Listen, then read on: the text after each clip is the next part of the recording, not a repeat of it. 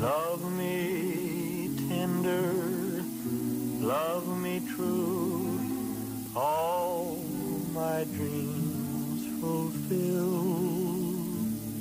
Through good times and not so good times, we have always supported the toughest breed of all, the British farmer.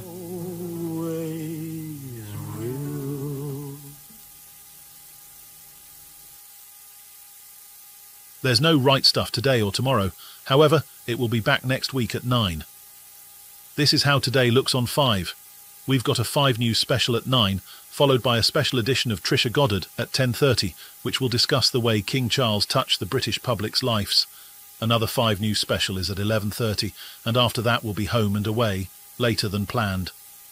And that will be followed by another 5 news special at 1 p.m. We will let you know about more schedule changes as soon as we get it.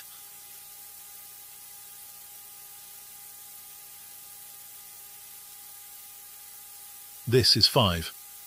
And now, in a change to the schedule, we have a 5 news special with Kirsty Young,